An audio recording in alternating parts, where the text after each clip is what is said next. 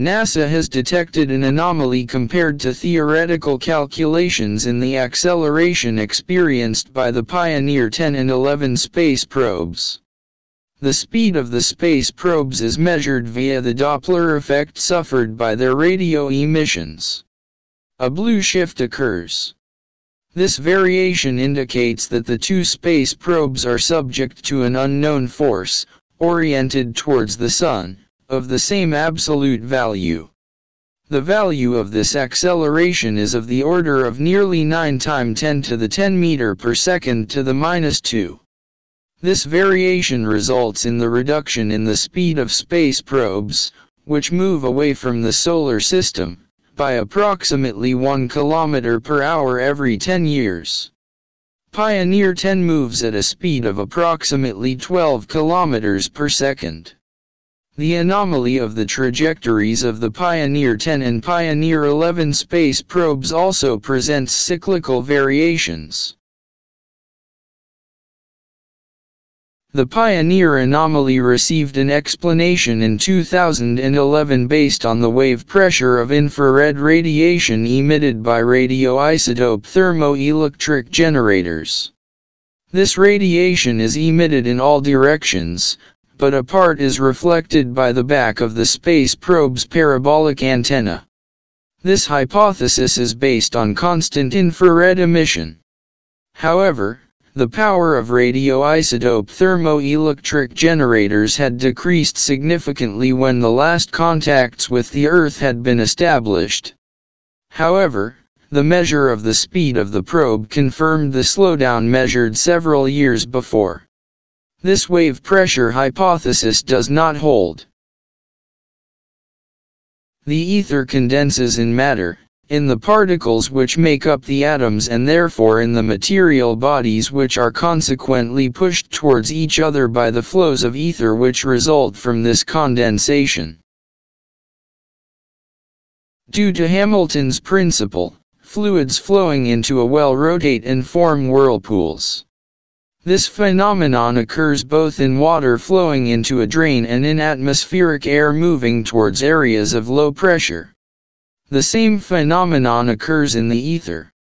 The flows of ether condensing in the stars rotate and form whirlpools. These ether whirlpools, however, have slightly different properties from the whirlpools in water and air.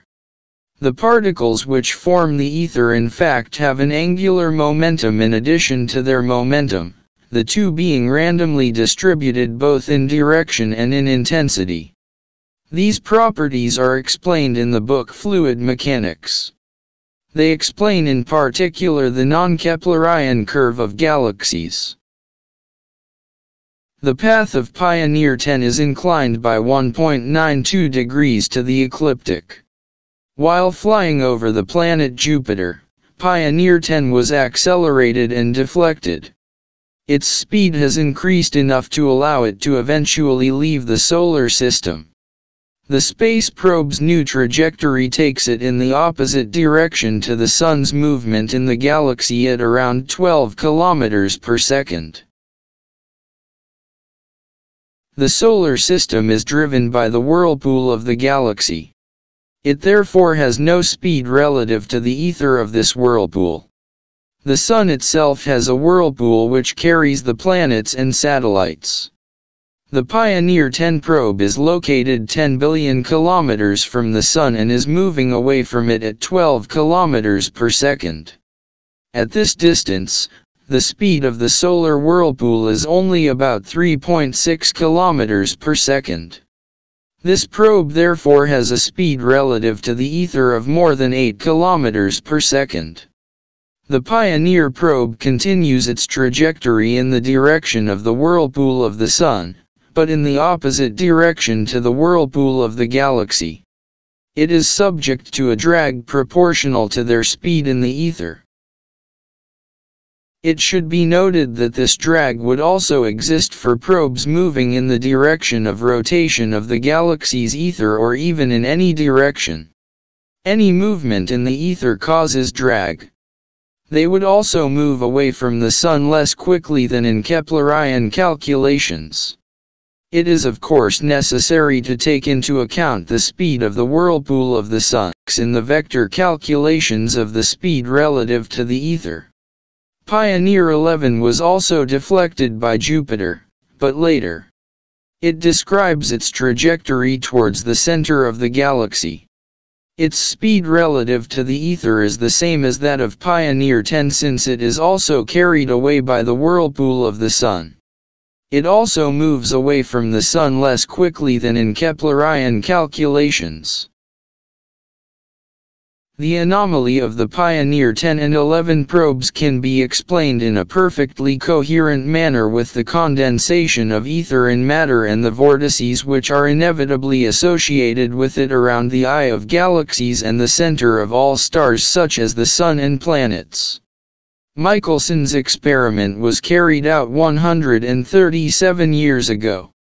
Subsequently, Miller's measurements showed anomalies, masterfully confirmed by Professor Allais, a leading specialist in probability calculation.